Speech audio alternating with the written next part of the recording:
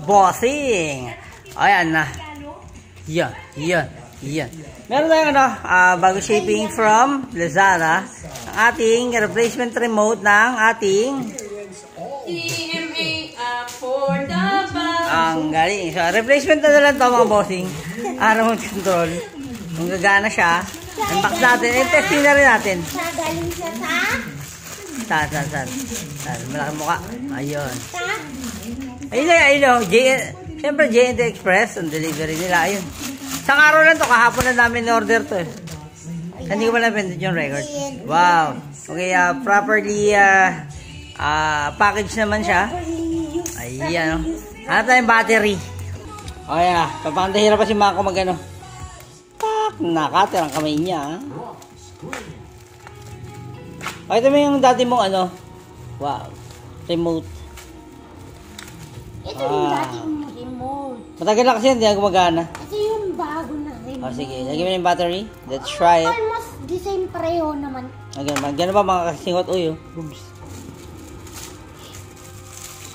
Tingnan natin paggagana ha.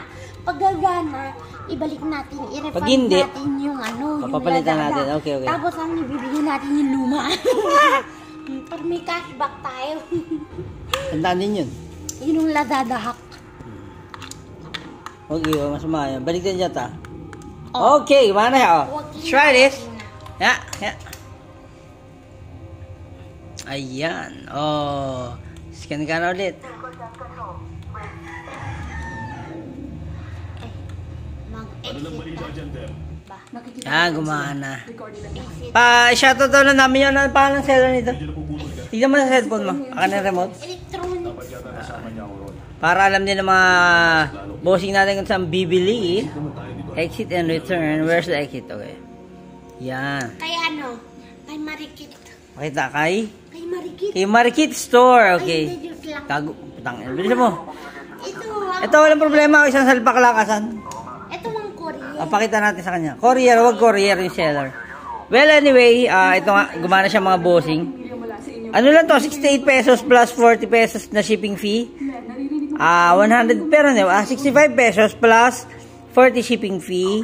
So 105 lang naman binayaran. Okay?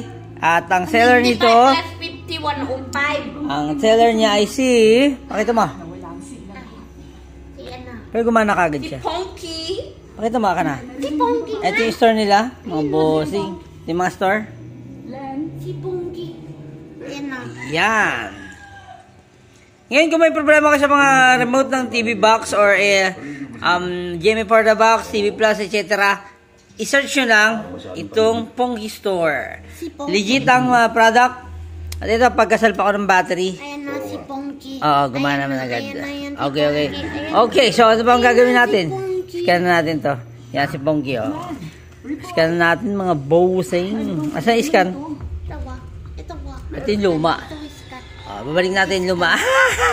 ah, ang gagawin natin mga bossing? Let's rock and roll.